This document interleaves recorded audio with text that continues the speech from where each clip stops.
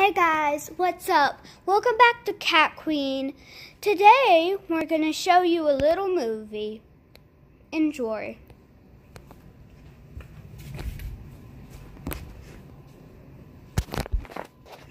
One day it was a peaceful day on the island of Sodor. Barbie was just hanging out, just surfing. But then, all of a sudden, she started hearing Donna, Donna, Donna, Nana, Nana, Nana, Nana, Nana, Nana, Nana. But then she came back drowning. So then she was drowning for quite a while, and quite a while she was not living.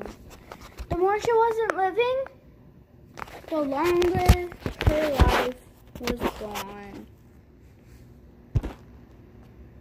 And well, her life wasn't good.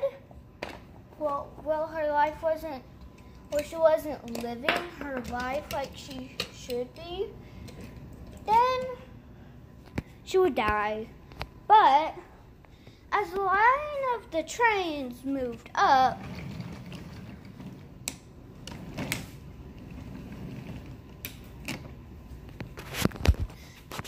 then a short little handsome engine was taking a turn to go get one of his his passenger loaded onto a ship. And that's when the line started to actually move up.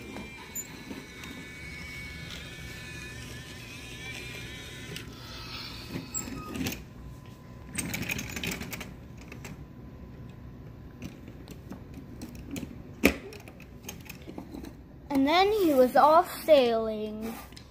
But then what happened is Then he scooted up, and then a little awesome light blue train was there, but he didn't know about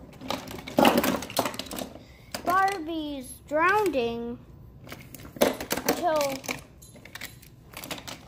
someone said, well, yelled, Barbie's drowning! And then Guess what happened after that? The heroic, one of the train engines on the island of Sodor came and he saved her. What else would he do?